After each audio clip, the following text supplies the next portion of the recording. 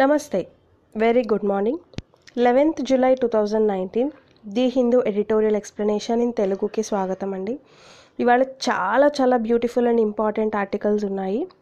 So వీటిల్లో మనం ఇవాళ ఏం చదువుతున్నామంటే caution needed demographic window of opportunity and turning down the heat so ఈ త్రీ ఆర్టికల్స్ని మనం ఇన్ డీటెయిల్డ్గా డిస్కస్ చేద్దాం. సో వాళ్ళ first article caution needed caution అంటే జాగ్రత్త అనేది అవసరము. అని చెప్తున్నారు. దేని గురించి మాట్లాడుతున్నారండి? Supreme court decision supreme court decision ఏదైతే ఉందో ఆన్ రోహింగ్యాస్ స్టేటస్ రోహింగ్యాస్ యొక్క స్టేటస్ మీద must protect those fleeing persecution వాళ్ళ హింసాత్మకంగా అక్కడ ఉండడం వల్ల పర్సిక్యూషన్ అంటే హింసాత్మకమైన వాతావరణం యుద్ధ వాతావరణం వాళ్ళ మీద. సో అలాంటి హింసాత్మక వాతావరణం నుంచి బల ఎవరైతే అవుతున్నారో వాళ్ళని ప్రొటెక్ట్ చేసే విధంగా ఉండాలి. ఈ సుప్రీంకోర్టు యొక్క తీర్పు అనేది డెసిషన్ అనేది ఈ రోహింగ్యాస్ మీద అని చెప్తున్నారు. సో అసలు ఎవరి రోహింగ్యాస్ ఏంటిదో ఒకసారి చూద్దాం. మన ఇండియా కదండి ఇది. ఇండియా పక్కన ఇక్కడ మయన్మార్. సో ఈ మయన్మార్ ప్రాంతంలో ఈ రెడ్ కలర్లో డార్క్ చేసున్న ప్రాంతమే రఖైన్ రఖైన్ అనేది మయన్మార్లో ఒక స్టేట్ అండి. సో ఈ రఖైన్ స్టేట్లో ఈ రోహింగ్యాస్ అనే ముస్లిమ్స్ ఉన్నారు. మయన్మార్లో ఎక్కువ percentage almost ninety three percentage బుద్ధిస్టులు ఉన్నారు. Ninety three percentage seven percentage మాత్రమే ముస్లిమ్స్ ఉన్నారు ఈ రోహింగ్యాస్ అనమాట సో మయన్మార్ ఏమంటుంది అంటే ఈ ముస్ వీళ్ళు బంగ్లాదేశ్ నుంచి వచ్చారు. వీళ్ళు దేశ ద్రోహులుగా ఉన్నారు అన్న ఇదిలో అది వీళ్ళని రిజెక్ట్ చేసిందనమాట ఈ రోహింగ్యాస్లో కూడా కొంతమంది బుద్ధిస్టుల మీద దాడి చేయడం వల్ల ఇంకా పూర్తిగా బుద్ధిస్టులే డామినేషన్ కదా అక్కడ. సో వాళ్ళు పూర్తిగా వీళ్ళని వీళ్ళ మీద హింసాత్మక చర్యలు తీసుకోవడం మిలిటరీ ద్వారా కానీ లేదా వీళ్ళని చాలా అసలు వీళ్ళకి సిటిజన్షిప్ అనేది లేకపోవడం సో వీళ్ళకి ఎటువంటి అవకాశాలు లేకపోవడం పైగా వాళ్ళకి అసలు ప్రాణ రక్షణ కూడా లేకపోవడం వల్ల వాళ్ళు ఆ కంట్రీ నుంచి వచ్చేసారనమాట రెఫ్యూజ్ చేయబడ్డారు ఆ కంట్రీ నుంచి. సో వాళ్ళు ఇలా వచ్చేసిన ఈ రోహింగ్యాస్ ఎవరైతే ఉన్నారో వాళ్ళు కొంతమంది బంగ్లాదేశ్లోకి వచ్చారు కొంతమంది ఇండియాలోకి వచ్చారు కొంతమంది అలా different different Thailand different different స్టేట్స్లోకి వెళ్ళి స్థిరపడ్డారు. అలా ఒక నలభై వేల మంది దాకా ఈ రోహింగ్యాస్ మన ఇండియాలోకి వచ్చారు. త్రూ నాగాల్యాండ్ త్రూ మణిపూర్ మిజోరాం ఇలా ఎలా ఇలా ఎంటర్ అయ్యారనమాట సో వీళ్ళు ఈ రోహింగ్యాస్. ఈ రోహింగ్యాస్ని ఇప్పుడు మనము మనం యాక్సెప్ట్ చేయాలా? లేదా తిరిగి వాళ్ళు మయన్మార్కి వెళ్ళేలాగా చూడాలా? దీని మీద సుప్రీంకోర్టు అనేది ఇప్పుడు మన సెంట్రల్ గవర్నమెంట్ సుప్రీంకోర్టుకి చెప్తే సుప్రీంకోర్టు అనేది ఒక డెసిషన్ తీసుకోవాల్సిన అవసరం ఉంది. దాని గురించి ఈ ఆర్టికల్లో ఇన్ డీటెయిల్గా డిస్కస్ చేస్తున్నారు. మనం ఏం చేయాలి? సుప్రీంకోర్టు తీర్పు ఎలా ఉంటుంది? అని చెప్పి.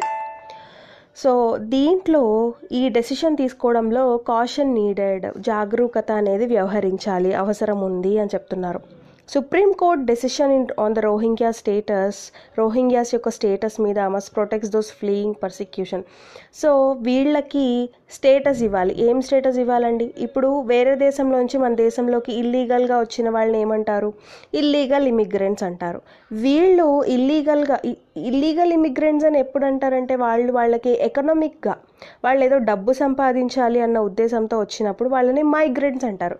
అదే వాళ్ళు ఒక సిస్టమేటిక్గా రాకపోతే వాళ్ళని illegal migrants or illegal immigrants అంటారు. సో అక్రమ వలసదారులు. అలా కాకుండా వీళ్ళు ఇల్లీగల్ ఇమిగ్రెంట్స్ కాదు కదా వీళ్ళెవరు? రెఫ్యూజీస్ వాళ్ళ కంట్రీలో పర్సిక్యూషన్ వాళ్ళు పర్సిక్యూషన్కి గురయ్యారు హింసకి గురయ్యారు. సో వాళ్ళు రెఫ్యూజ్ చేయబడ్డారు. సో అలా రెఫ్యూజ్ అయ్యి రెఫ్యూజీస్గా మన కంట్రీలోకి వచ్చారనమాట అంటే శరణార్థులై శరణార్థులై వాళ్ళకి ఆశ్రయం కోరుకొని మన కంట్రీలోకి వాళ్ళు ఎంటర్ అయ్యారనమాట సో వీళ్ళ గురించి ఏ డెసిషన్ తీసుకోవాలి అని చెప్పి ఇక్కడ ఆర్టికల్లో డిస్కస్ చేస్తున్నారు. ద సుప్రీంకోర్ట్ డెసిషన్ ఏదైతే ఉందో టు ఎగ్జామిన్ ద క్వశ్చన్ ఒక ప్రశ్నని పరిశీలించాలి. ఏంటది? Whether illegal immigrants are entitle to res refugee status ఈ ఇల్లీగల్ ఇమిగ్రెంట్స్ ఎవరైతే ఉన్నారో వాళ్ళు రెఫ్ వాళ్ళకి రెఫ్యూజీ స్టేటస్ ఇవ్వాలా? ఒకవేళ మనం వాళ్ళకి రెఫ్యూజీ స్టేటస్ ఇచ్చామనుకోండి ఏంటది? వాళ్ళు శరణార్థులు శరణం కోరి మన దేశంలోకి వచ్చారు. సో మనం వాళ్ళకి యాక్ రెఫ్యూజీ స్టేటస్ ఇచ్చామన్నప్పుడు వాళ్ళని మనం వెళ్ళిపోమని చెప్పే చెప్పలేం. ఖచ్చితంగా వాళ్ళని మనం ఉంచుకోవాలన్నమాట. వాళ్ళకి రెఫ్యూజీ స్టేటస్ ఇస్తే గనక. సో ఈ రెఫ్యూజీ స్టేటస్ ఇవ్వాలా లేదా అన్న సుప్రీంకోర్టు డెసిషన్ ఏదైతే ఉందో అది వెల్కమ్ ఆహ్వానించదగ్గదే. కానీ బట్ విత్ కాషన్ కొంత జాగ్రత్త అనేది వహించాలి. ఇట్ ఈస్ డిబేటబుల్ వెదర్ ఇది ఒక వాదించదగ్గ విషయం. ఏంటండి? Whether the centre is right in claiming that this has emerged as a substantial question of law ఇది ఒక సబ్స్టాన్షియల్ క్వశ్చన్ ఒక తీవ్రమైన ప్రశ్నగా మారింది. ఏంటది? In the context of Rohingyas Muslims ఈ రోహింగ్యా ముస్లిమ్స్ ఎవరైతే ఉన్నారో ఫ్రమ్ మయన్మార్ నుంచి వచ్చిన వాళ్ళు వాళ్ళ విషయంలో. For it is fairly obvious that ఇది ఫెయిర్లీ ఆబ్వియస్ ఇది అనేది తప్పదు. ఏంటి? Those escaping persecution in their home country వాళ్ళ సొంత దేశం ఏంటండి? మయన్మార్ ఆ మయన్మార్లో ఎస్కేపింగ్ పర్సిక్యూషన్ అక్కడి నుంచి పారిపోయి రావాల్సిన పరిస్థితి వాళ్ళ మీద జరిగిన హింస దాడులు ఏవైతే ఉన్నాయో ఆర్ ఇన్వేరియబుల్లీ అన్డాక్యుమెంటెడ్ సో ఈ రోహింగ్యా ముస్లిమ్స్ అనే వాళ్ళు ఖచ్చితంగా వాళ్ళు అన్డాక్యుమెంటెడ్ ఖచ్చితంగా ఇది అన్డాక్యుమెంటెడ్ వాళ్ళకు ఒక డాక్యుమెంట్ అంటూ లేదు కదా సిటిజన్షిప్ అవేం లేవు. It logically follows that. ఇది లాజికల్గా ఏం చెప్తుంది? Those fleeing conditions of war. అక్కడి నుంచి పారిపోయి రావాల్సిన ఈ యుద్ధ పరిస్థితులు కానీ ఈ హింసాత్మక పరిస్థితులు ఏవైతే ఉన్నాయో ఆర్ కాన్ఫ్లిక్ట్ కానీ will have to be treated as refugee first. First రెఫ్యూజీగా treat చేసి before their cases can be examine detail తర్వాత ఒక్కొక్కరి గురించి వాళ్ళ బ్యాక్గ్రౌండ్ ఏంటి వాళ్ళు ఎక్కడి నుంచి వచ్చారు అనే దాని గురించి డిస్కస్ చేసే ముందు రెఫ్యూజీస్గా చేసి and deemed fit for deportation as illegal entrants అప్పుడు వాళ్ళని డీమ్డ్ డీమ్డ్ అంటే పరిగణించడం ఇల్లీగల్ ఎమ ఎంట్రన్స్గా పరిగణించాలా లేదా అనేది డిసైడ్ చేయాలి. ఇట్ విల్ బి స్ట్రేంజ్ ఇది మాత్రం స్ట్రేంజ్గా ఉంటుంది. వింతగా ఉంటుంది. ఏంటి? If any court holds that a court అయినా చెప్తే ఏంటి? No illegal immigrant is entitle to refugee status అసలు ఇమ్ ఇల్లీగల్ ఇమిగ్రెంట్కి రెఫ్యూజీ స్టేటస్ ఇవ్వకూడదు అనేది కూడా కరెక్ట్ కాదు. That would amount to a perverse denial of the very existence of a refugee as a class perverse denial అంటే ఖచ్చితంగా మనం దాన్ని వ్యతిరేకిస్తున్నాము అని చెప్పి తిరస్కరిస్తున్నాము డినయల్ అంటే. సో అంటే మనం లాజికల్గా మనం రీజనబుల్గా తిరస్కరించాం కదా. అసలు రెఫ్యూజీ అనే క్లాస్నే మనము తిరస్కరించినట్టు. అలా కాదు శరణార్థులు అనే వాళ్ళు కూడా ఉంటారు. సో ప్రతి ఒక్క ఇలీగల్ ఇమిగ్రెంట్ని మనము వీళ్ళు రెఫ్యూజీస్ కాదు అని చెప్పలేం. What the government is perhaps looking for government maybe ఏం చూస్తూ ఉండొచ్చు? ఫర్ ఇట్స్ డెసిషన్ హోల్డింగ్ దానికి ఒక నిర్ణయం తీసుకునే అధికారం కావాలి. That it can choose the class of illegal immigrants it wishes to treat as refugees అది ఇల్లీగల్ ఇమిగ్రెంట్స్లో ఎవరినైతే రెఫ్యూజీగా తీసుకోవాలో and it can deny the status to any section it deems a threat to the national security and is likely to strain local resources ఇప్పుడు suppose ఒక వంద మంది illegal immigrants వచ్చారండి. దాంట్లో గవర్నమెంట్కి అధికారం కావాలి అని గవర్నమెంట్ కోరుకుంటూ ఉండుండొచ్చు అని చెప్తున్నారు. అంటే ఇందులో ఈ ఇల్లీగల్ ఇమిగ్రెంట్స్లో కొంతమంది టెర్రరిస్టులు అవ్వచ్చు అందరూ కూడా శరణార్థులు అవ్వకపోవచ్చు. ఒకవేళ పది మంది ఉన్నా కూడా దేశానికి విపరీతమైన నష్టం జరుగుతుంది. ఆబ్వియస్లీ ఇప్పటికే కొంత ఈశాన్య రాష్ట్రాల్లో ఈ ఎన్ఆర్సీ అస్సాము ఎన్ఆర్సీ పెట్టుకుంది. నేషనల్ రిజిస్ట్రీ ఆఫ్ సిటిజన్స్ అని. అండ్ నాగాల్యాండ్ కూడా కొత్తగా ఇప్పుడు ఇండిజినస్ ఇన్హాబిటెంట్స్ లిస్ట్ అని చెప్పి పెట్టుకుంది కదా. మనం already twenty second June sorry second July రోజు ఇమిటేషన్ రిజిస్ట్రీ అని ఒక ఆర్టికల్ చదివామండి. సెకండ్ జూలై రోజు ఇమిటేషన్ రిజిస్ట్రీ అది ఒకసారి ఇన్ డీటెయిల్డ్గా మీరు చూస్తే అసలు అక్కడ ప్రాబ్లమ్స్ ఏమున్నాయి? వాళ్ళు ఇమిటేషన్ రిజిస్ట్రీ చేయాలనుకుంటున్నారు అస్సాం చేసింది. సో దట్ నాగాల్యాండ్ కూడా అస్సాం లాగా చేయాలనుకుంటుందని చెప్పి సెకండ్ జూలై రోజు ఇమిటేషన్ రిజిస్ట్రీ ఆర్టికల్ చదివాం. సో ఇప్పటికే కొన్ని ప్రాబ్లమ్స్ ఉన్నాయి. మళ్ళీ ఇల్లీగల్ ఇమిగ్రెంట్స్ అందరినీ మనం యాక్సెప్ట్ చేస్తే కనుక దానివల్ల కొన్ని ప్రాబ్లమ్స్ అనేవి రావచ్చు థ్రెట్స్ ఉండొచ్చు మనకి. సో ఇలాంటి సందర్భంలో government perhaps looking for its decision holding దాని డెసిషన్ హోల్డింగ్ కావాలి అది ఎవరినైతే రెఫ్యూజీస్గా పెట్టుకుందో వాళ్ళని పెట్టుకోవాలి మిగిలిన వాళ్ళని వద్దు అని చెప్పి so therefore offers an opportunity to clarify that India's approach to refugees question, which has generally been favor to vulnerable entrants. So ఈ కోర్టు డెసిషన్ అనేది go in to the issue so ఇప్పుడు అందుకని కోర్టు డెసిషన్ అనేది ఒక పెద్ద ఇంట్రెస్టింగ్గా మారింది ఆసక్తికరంగా. జనరల్గా అది వల్నరబుల్ ఎంట్రన్స్. ఇలా శరణార్థులు ఎవరైతే ఉంటారో వాళ్ళకి ఇది ఫేవర్గానే ఉంటుంది. కానీ but stridently hostile to the Rohingyas. Rohingyas విషయంలో మాత్రం కొంచెం హాస్టైల్గానే ఉండే పరిస్థితి ఉంది. హాస్టైల్ అంటే విరుద్ధము స్ట్రైడెంట్లీ అంటే పూర్తిగా విరుద్ధంగా ఉండే అవకాశం ఉంది. India is not a signatory to the UN convention on the status of refugees nineteen fifty one UN convention on the status of refugees nineteen fifty one అనే ఒకటి ఒప్పందం ఉందండి. ఆ ఒప్పందంలో ఇండియా సిగ్నేటరీ కాదు. And a protocol adopted in nineteen sixty seven on the subject so the nineteen sixty సెవెన్లో దేని దాని మీద ప్రోటోకాల్ కూడా తీసుకున్నారు. హవెవర్ ఏదైనా కానీ సిన్స్ ఇండిపెండెన్స్ ఇండిపెండెన్స్ నుంచి it has by and large అది కొద్దో గొప్ప ఇట్ హ్యాస్ అంటే ఇండియా కొద్దో గొప్ప adhere to the larger humanitarian principles మానవతా దృక్పథంతోనే వ్యవహరిస్తూ వచ్చింది ఇండియా అండర్లైన్ దీస్ ఇన్స్ట్రుమెంట్స్ ఈ సందర్భంలో. In this backdrop it astonishing that ఇది ఆశ్చర్యకరమైన విషయం that present regime is determine to deport Rohingya రోహింగ్యాస్ని అది మళ్ళీ తిరిగి పంపిస్తుందా డిపోర్ట్ చేస్తుందా? In utter disregard of the danger to their lives in Myanmar. In utter disregard utter పూర్తిగా డిస్రిగార్డ్. వాళ్ళ పట్ల నిరాదరణ అనేది ఉంది కదా ప్రజెంట్ మయన్మార్లో. సో అలాంటి ప్రమాదకరమైన పరిస్థితిలో వాళ్ళ జీవితాలకే ప్రమాదం ఉంది. సో అలాంటి టైంలో గవర్నమెంట్ ఏం చేస్తుంది? And in violation of the principle of non refoulement non refoulement వాళ్ళని తిప్పి పంపించడము అనేది అనే ప్రిన్సిపల్కి విరుద్ధంగా ఉంది కదా ఇది. సో వయలేట్ చేస్తుంది మనం తిప్పి పంపించేస్తే. నాన్ రిఫాల్యుమెంట్ అంటే తిప్పి పంపకుండా ఉండడం. సో దాన్ని ఇది వయలేట్ చేస్తుంది. And the NAM that prohibits states from forcibly returning refugees to conditions and the norm that prohibits states from forcibly returning refugees to conditions that caused them to flee their homes in the first place.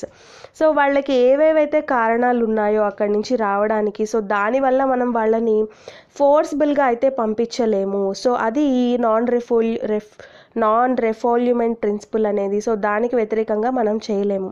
And it will immoral and అది correct కూడా కాదు. And unjust న్యాయం కూడా కాదు. ఇది the most vulnerable group from Myanmar's Rakhine state Myanmar యొక్క Rakhine state నుంచి వచ్చిన ఈ వల్నరబుల్ గ్రూప్ ఎవరైతే ఉన్నారో నెంబరింగ్ అబౌట్ దాదాపు నలభై వేల మంది ఇండియాకి వచ్చారో మనం ఆల్రెడీ చెప్పుకున్నాము.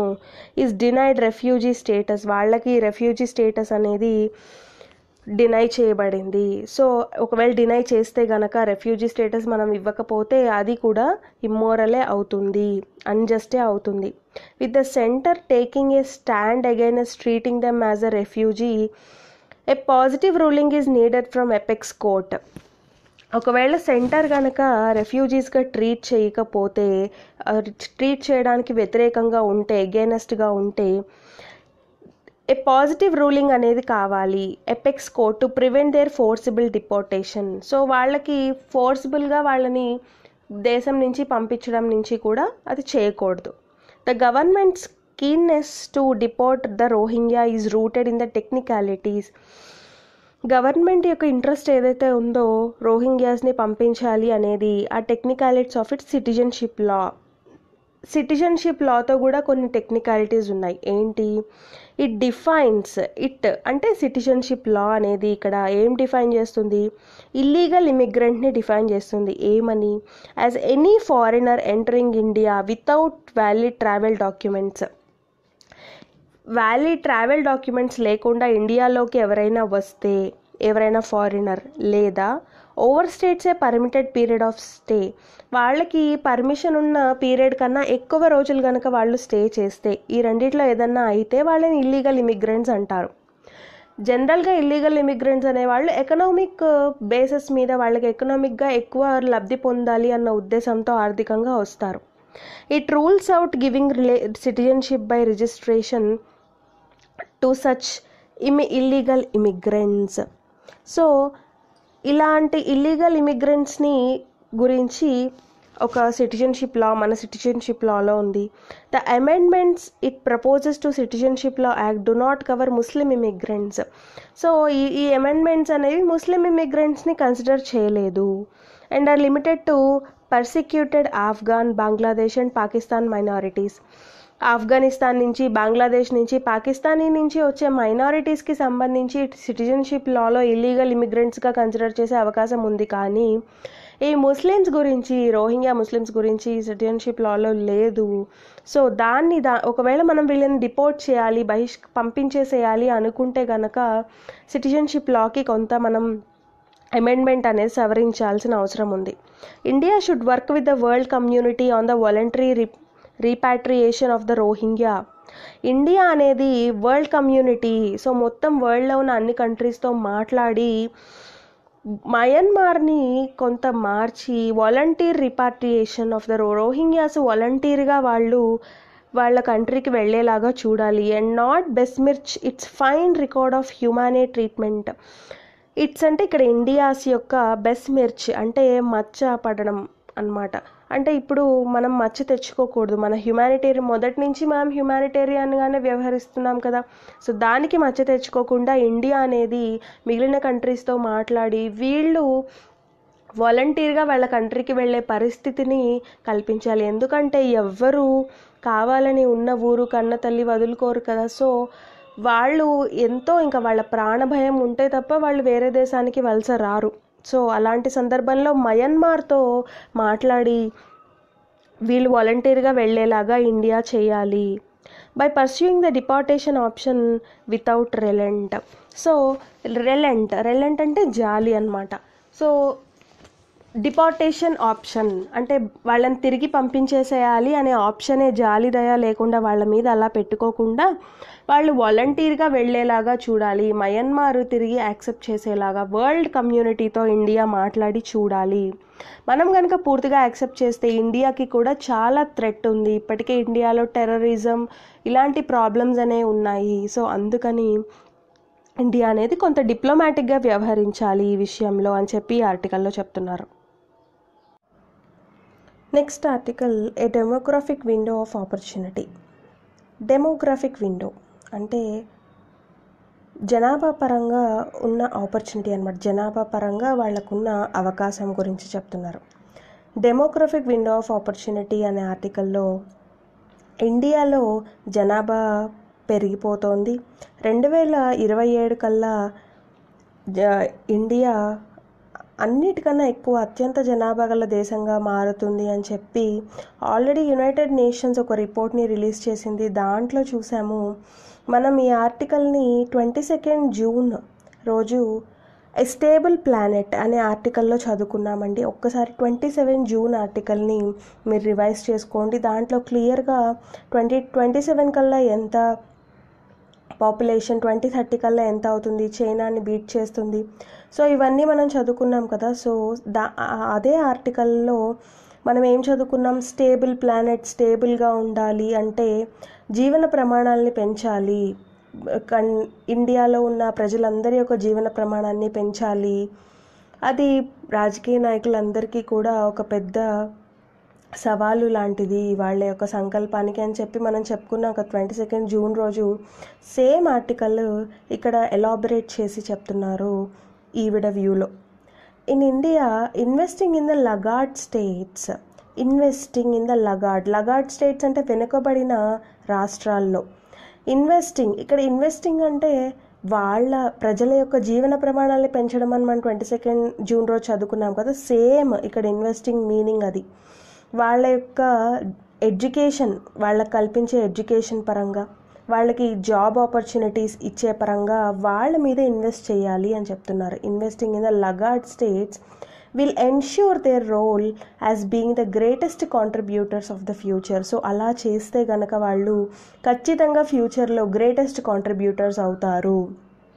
మనము ఆల్రెడీ లగాడ్ స్టేట్స్ అని చదువుకున్నాం కదా ఆర్టికల్లో ఏంటవండి? బీహార్ ఉత్తరప్రదేశ్ జార్ఖండ్ ఇలాంటివి తగ్గించట్లేదు. జనాభాని పెంచుతూనే పోతున్నాయి. Southern states like AP Telangana and Kerala Tamil Nadu ఇవన్నీ తగ్గించాయి జనాభాని. సో ఈ లగాడ్ స్టేట్స్ అని మనం అప్పుడు చెప్పుకున్నాము.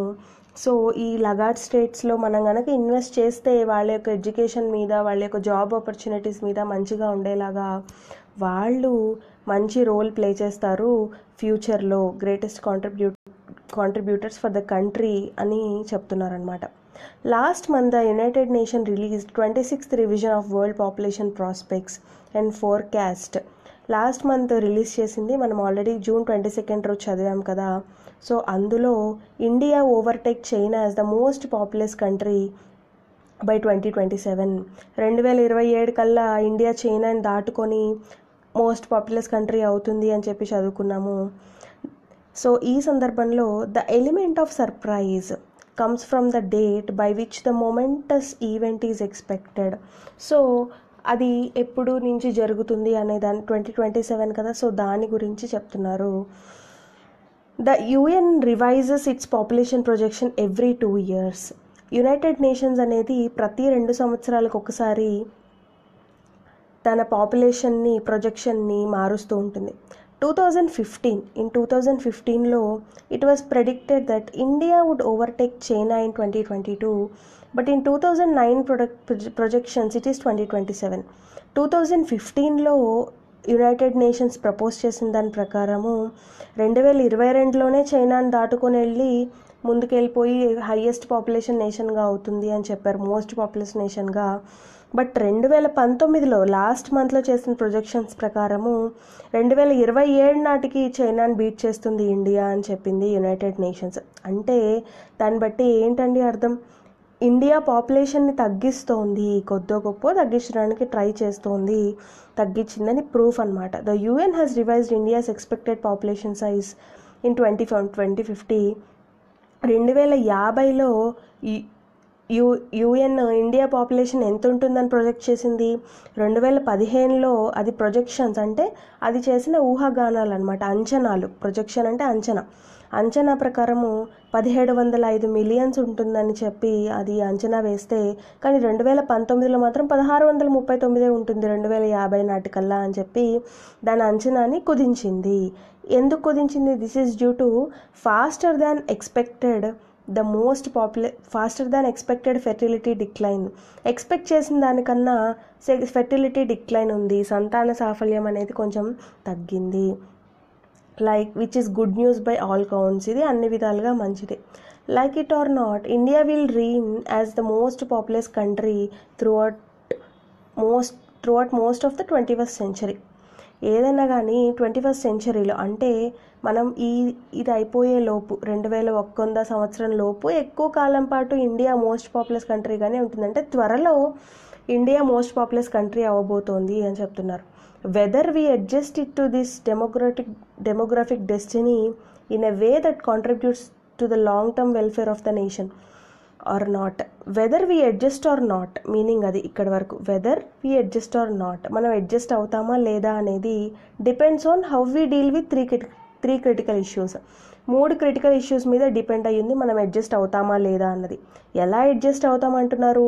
Adjust to this demographic density జనాభా యొక్క సాంద్రతకి ఎలా అడ్జస్ట్ అవుతాం? In a way that contributes to the long term welfare of the nation దేశం యొక్క లాంగ్ టర్మ్ uh, సంక్షేమంకి ఎక్కువ కాలం సంక్షేమానికి మనం ఆ ఆ దిశగా మనం అడ్జస్ట్ అవుతామా లేదా? మనల్ని మనం మార్చుకుంటామా లేదా అన్న దాని గురించి ఆధారపడి ఉంటుంది.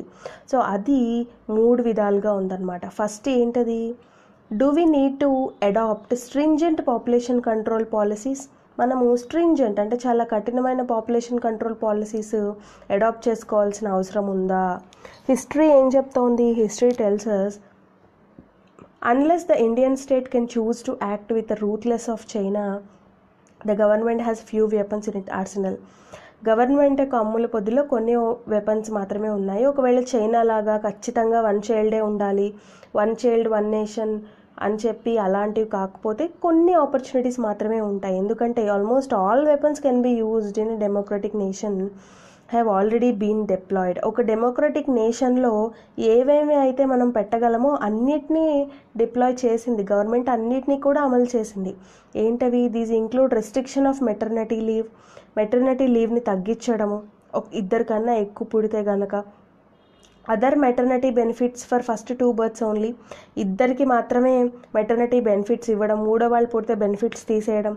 Disqualification from panchayat elections for more people for people more than two children in some states along with minor incentives for sterilization so ఇద్దరికన్నా ఎక్కువ పుడితే వాళ్ళు పంచాయతీ ఎలక్షన్స్లో పాల్గొనడానికి అనర్హులుగా చేయడం ఇలాంటివి కూడా కొన్ని స్టేట్స్లో చేశారు. అయితే కొంతమంది ఒపీనియన్ ఏంటంటే చూడండి the sarpanch post is not going to support me during my old age నా ఓల్డ్ ఏజ్లో నా సర్పంచ్ పోస్ట్ నన్ను చూడదు కదా. మై సన్ విల్ నా సన్ చూస్తారు. నా కొడుకు లేదా నాకు పుట్టే వాళ్ళు చూస్తారు. It does not really matter if I lose the post of sarpanch ఒకవేళ నేను సర్పంచ్ పోస్ట్ పో పోయినా నాకు పర్వాలేదు. బట్ నేను ఇద్దరికన్నా ఎక్కువ పిల్లలు అనడానికి చాలామంది ఇంట్రెస్ట్ చూపిస్తున్నారు. సో ఇది ఒకటి. సెకండ్ థింగ్ ఏంటి? If punitive actions won't work ఒకవేళ ప్యూనిటివ్ అంటే పనిష్మెంట్ ఇచ్చే యాక్షన్స్ అనమాట శిక్షా చర్యలు కనుక వోంట్ వర్క్ వర్కౌట్ అవ్వకపోతే we must encourage people have smaller families voluntarily వాళ్ళంతటా వాళ్ళే చిన్న ఫ్యామిలీస్ ఏర్పరచుకునేలాగా చూడాలంటే ఇద్దరు పిల్లలు ఒకళ్ళు లేదా ఇద్దరు అని చెప్పి. So there are sharp differences in fertility among different socio economic groups socio economic groups ప్రకారము చాలా తేడా ఉందండి ఫెర్టిలిటీలో. Total fertility rate for the poorest women was three point two compare to only one point five for the richest quantile in the two thousand fifteen sixteen చూడండి. అంటే poverty poverty ఉన్న వాళ్ళే ఎక్కువ పిల్లల్ని కంటున్నారు ఎక్కువ మంది. ఎందుకని? They feel that they children are their assets వాళ్ళు ఎసెట్స్గా ఫీల్ అవుతారు. సో వాళ్ళకి మనీ లేదు కాబట్టి సో వాళ్ళు ఓల్డ్ అయిపోయినప్పుడు వాళ్ళ పిల్లలే వాళ్ళని చూస్తారు. సో వాళ్ళ పిల్లలే వాళ్ళకి ఎసెట్ పిల్లల్ని పనిలో పెట్టి వాళ్ళ ద్వారా డబ్బు సంపాదించడం. సో అలా ఎసెట్స్గా ఫీల్ అవుతారు. సో పూర్ పీపుల్లోనే ఉమెన్కి three point two TFR total fertility rate ఉంది రిచెస్ట్తో పోలిస్తే. To get to TFR of one point five total fertility rate one point five అవ్వాలంటే substantial proportion of the population among top forty percent must stop at one child top forty percent వాళ్ళు ఒక్క చైల్డ్తోనే ఆగిపోవాల్సిన అవసరం ఉందండి. అయితే ఇప్పుడు వాలంటీర్గా వాళ్ళని చిన్న ఫ్యామిలీస్కి రెస్ట్రిక్ట్ అయ్యేలాగా చూడాలి అని చెప్తున్నారు కదా దానికి ఎలా చేయాలి అంటున్నారంటే children's education and future prospectus కనుక వాళ్ళకి మంచిగా ఉంటుంది మీరు తక్కువ మంది పిల్లల్ని కంటే అని కనుక చూపిస్తే ఖచ్చితంగా వాళ్ళు ఆగిపోయే అవకాశం ఉంటుంది.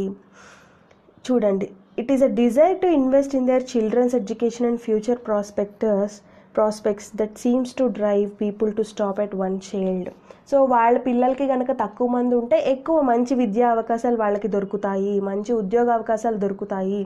మంచి ఫ్యూచర్ వాళ్ళ పిల్లలకు ఉంటుందన్న నమ్మకం వాళ్ళకు ఉంటే ఖచ్చితంగా వాళ్ళు ఆగుతారు. వాళ్ళని చదివించడం కోసం అయినా సరే. Richer individuals see greater potential for ensuring admission to good colleges and better jobs for their children inspiring them to limit their family size so ఇలా గుడ్ కాలేజెస్కి పంపించాలి వాళ్ళకి బెటర్ జాబ్స్ తెప్పించాలి అనేవి వాళ్ళని ఇన్స్పైర్ చేస్తున్నాయి వాళ్ళ ఫ్యామిలీ సైజ్ని లిమిట్ చేసుకోవడానికి తగ్గించడానికి. Thus improving education and ensuring that good access to ensuring that access to good jobs అలా ఎడ్యుకేషన్ ఇంప్రూవ్ చేయడం వల్ల గుడ్ జాబ్స్ మంచి ఉద్యోగాలకి యాక్సెస్ కల్పించడం ద్వారా ఈవెన్ మే ఆల్సో స్పర్ మనం వాళ్ళకి రగిలించవచ్చు అనమాట ఏంటి? ఈవెన్ పూర్ హౌస్ హోల్డ్స్ కూడా పేదవాళ్ళు కూడా హ్యావింగ్ ఫ్యూవర్ చిల్డ్రన్ తక్కువ పిల్లలు ఉండేలాగా investing their hopes in the success of their only daughter or son so వాళ్ళకి పుట్టిన ఓన్లీ డాటర్ ఆర్ సన్ మీదే వాళ్ళు హోప్స్ ఇన్వెస్ట్ చేసుకునేలాగా సో దట్ వాళ్ళు ఎక్కువ రిసోర్సెస్ ప్రొవైడ్ చేయగలము అన్న నమ్మకం వాళ్ళకి కల్పించే విధంగా కల్పిస్తే డెఫినెట్గా వాళ్ళు వాలంటీర్గా లిమిట్ అవుతారు స్మాల్ ఫ్యామిలీస్కి provision of she safe and easily accessible contraceptive services will complete this virtuous cycle so contraceptive methods ఇవన్నీ యూస్ చేయడం వల్ల కూడా తగ్గుతుందన్నమాట. So population and policy third one second two చూసాం కదా. థర్డ్ వన్ ఏంటంటే we must change our mind set about how population is incorrect incorporated in border development policies so population అనేది nation బిల్డింగ్కి ఎలా యూజ్ అవుతుంది అన్న దాని గురించి కూడా మన పర్సెప్షన్ మార్చుకోవాలి. ఇక్కడ చూడండి population growth in the north and central parts of India is far greater than south India. మనం ఆల్రెడీ చెప్పుకున్నాం కదా ట్వంటీ సెకండ్ జూన్ ఆర్టికల్లో చదువుకున్నాము. నార్త్ సెంట్రల్ పార్ట్స్లో ఎక్కువ ఉంటుంది పాపులేషన్ గ్రోత్ అనేది సౌత్తో పోలిస్తే. What should we do about the old policies aimed at not rewarding states that fail to control population growth population గ్రోత్ని control చేయలేని స్టేట్స్కి మనం ఏ- ఏం చేయాలి అన్నది ఆలోచించాలి. These policies include using the nineteen seventy one population to allocate seats for Lok Sabha C- ఇప్పుడు government ఏం చేస్తుందండి? ఎక్కువ పాపులేషన్ దేనికి ఉంటే దాన్ని బట్టియే రాజ్యసభ సీట్స్ ఉంటాయి. దాన్ని బట్టియే ఎంపీ సీట్స్ ఉంటాయి లోక్సభకి. దాన్ని బట్టియే స్టేట్స్కి వచ్చే రకరకాల ఫండ్స్ కానీ ఇవన్నీ కూడా పాపులేషన్ బేసిస్ మీదే ఉంటాయి. సో అది కూడా ఒక రీజన్ అండి ఇక్కడ. సో ఇక్కడ ఏం చెప్తున్నారు? Demography dividend. అంటే డెమోగ్రఫీ జనాభా పరంగా డివిడెండ్ వాళ్ళకు వచ్చే వాటా ఏదైతే ఉందో provided but the increasing share of working age. ఇక్కడ డెమోగ్రఫిక్ డివిడెండ్ అంటే ఒక రేషియో అండి. అది ఏం రేషియో అంటే working age people ratio by not working age people ఎడ్ అంటే అడల్ట్ ఏజ్లో ఉన్న వర్కింగ్ ఏజ్ అడల్ట్ దాని బై నాన్ వర్కింగ్ పీపుల్ అనమాట సో ఈ డెమోగ్రఫిక్ డివిడెండ్ ఏదైతే ఉందో is a temporary phase during with child dependency ratio is falling ఇది టెంపరీనే చైల్డ్ డిపెండెన్సీ రేషియో తగ్గుతోంది ఓల్డ్ ఏజ్ డిపెండెన్సీ రేషియో కూడా తగ్గుతోంది. But this opportunity only last for twenty to thirty years twenty to thirty years మాత్రమే ఉంటుంది. For states such as Kerala and Tamil Nadu which experienced fertility decline early Kerala Tamil Nadu లాంటివి మిగిలిన northern states eastern states కన్నా కూడా ముందే అవి fertility rate decline చేశాయి కాబట్టి దిస్ విండో ఆఫ్ ఆపర్చునిటీ అనేది పాస్ట్ వాటికి తగ్గిపోతుంది. ఎందుకంటే డెమోగ్రఫిక్ డివిడెండ్ అంటే వర్క్ చేసే పీపుల్ తగ్గిపోతారు. ఓల్డ్ ఏజ్ పీపుల్ అనేవాళ్ళు ఈ తమిళనాడు కేరళలో ఎక్కువైపోతారు. సో ఈ మహా ఈ బీహార్ జార్ఖండ్ ఈ ఉత్తరప్రదేశ్ రాష్ట్రాల్లో ఉన్న జనాభా ట్వంటీ ఇయర్స్ తర్వాత సౌత్లో ఉన్న ఈ ఓల్డ్ ఏజ్ పీపుల్కి హెల్ప్ చేసే విధంగా వస్తారు. As the United Nations population United Nation population fund estimates United Nation population fund ఏం ఎస్టిమేట్ చేస్తుంది? Over the next twenty years twenty ఇయర్స్లో the window of opportunity will be open for moderate achievers ఈ window opportunity అనేది ఎవరికి ఎక్కువ ఉంటుందంటే moderate achievers అంటే బాగా తగ్గించిన వాళ్ళు కాదు బాగా పెంచేసిన వాళ్ళు కాదు జనాభా. మోడరేట్గా ఉన్న వాళ్ళకే ఎక్కువ ఆపర్చునిటీ ఉంటుంది. Like Karnataka Haryana and Jammu and Kashmir as a democratic window of opportunity closes for the states వేటి వేటికి క్లోజ్ అయిపోతుంది?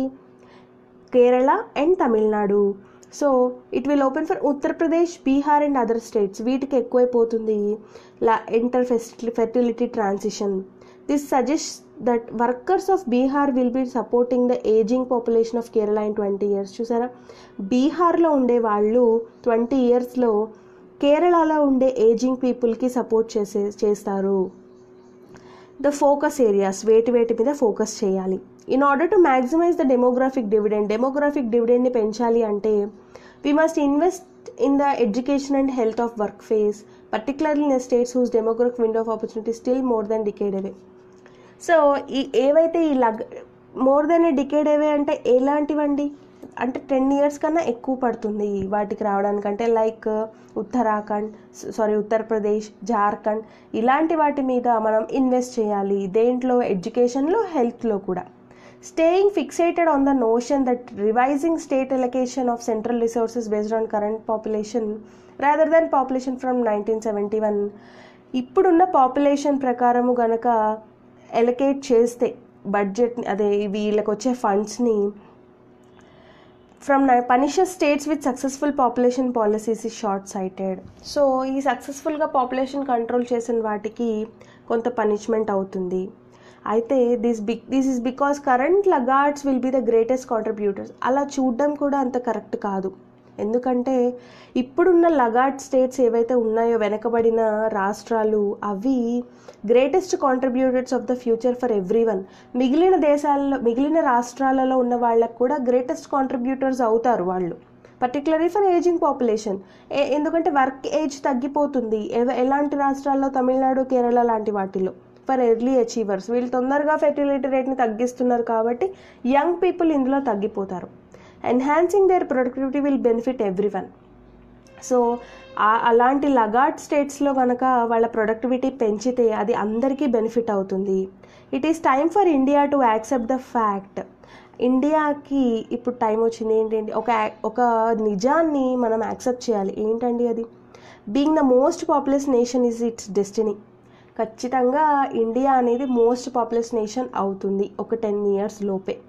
So twenty twenty సెవెన్లోనే so it must work towards enhancing the lives of its current and future citizens so ఇప్పుడు ఇంకా future రాబోయే citizens ఇప్పుడున్న పౌరులకి రాబోయే భావి పౌరులకి కూడా అది మంచి అవకాశాలని కల్పించాలి. వాళ్ళ యొక్క జీవితాలని ఎన్హాన్స్ చేయాలి జీవన ప్రమాణాలని పెంచే విధంగా చూడాలి. సో ఆ విధంగా మన మైండ్ సెట్ని మనం చేసుకోవాలి. సో అది ఈ ఆర్టికల్లో చెప్తున్నారండి. సో మనం ఒక పాయింట్ని ఆ రోజు తీసుకున్నాం. స్టేబుల్ ప్లానెట్ అని చెప్పి ట్వంటీ సెకండ్ జూన్ రోజు. దానికి ఎంత బాగుందండి ఈ ఆర్టికల్ ఎక్స్టెన్షన్ లాగా? ఇంకొంచెం ఎక్స్ట్రా ఇన్ఫర్మేషన్ యాడ్ అయింది ఎక్స్ట్రా వ్యూస్ యాడ్ అయ్యాయి. సో ఒక పాపులేషన్కి సంబంధించి ఇండియా ట్వంటీ ట్వంటీ సెవెన్ కల్లా మోస్ట్ పాపులస్ నేషన్ అయిపోతుంది. దాని మీద మీ ఒపీనియన్ ఏంటి అంటే పాజిటివ్స్ ఉన్నాయండి నెగిటివ్స్ ఉన్నాయి. మనం నెగిటివ్స్ ట్వంటీ సెకండ్ జూన్ రోజు చదివాం ఇవాళ పాజిటివ్స్ కూడా చదివాం కదా. సో ఇలా ఒక టాపిక్ మీద అన్ని యాంగిల్స్లో మనం ఇన్ఫర్మేషన్ ఇన్ఫర్మేషన్ని గ్యాదర్ చేసుకోవాలి.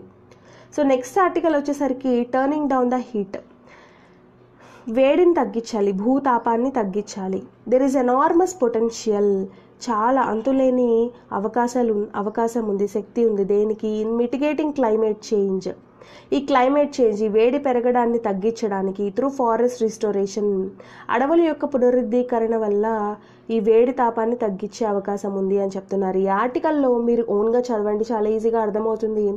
ఈ ఆర్టికల్లో ఏం చెప్తున్నారంటే డీఫారెస్టేషన్ని తగ్గించాలి ఫారెస్ట్ని పెంచాలి. ఈ ఫారెస్ట్ని పెంచాలి అండ్ అన్ని ప్లేసెస్లోనూ వీలైనంత వరకు మొక్కల్ని పెంచేలాగా చూడాలి. అది కూడా ఎలాంటి మొక్కల్ని పెంచాలి? కార్బన్ డైఆక్సైడ్ని ఎక్కువగా పీల్చుకునేవి. కొన్ని మొక్కలు ఉంటాయి అవి కార్బన్ డైఆక్సైడ్ని రిలీజ్ చేస్తాయి. సో అలా కాకుండా కార్బన్ డైఆక్సైడ్ని ఎక్కువ పీల్చుకునే మొక్కలు ఇలాంటి వాటిని మనం సెలెక్ట్ చేసుకుని పెంచాలి. ఫారెస్టైజేషన్ని పెంచాలి.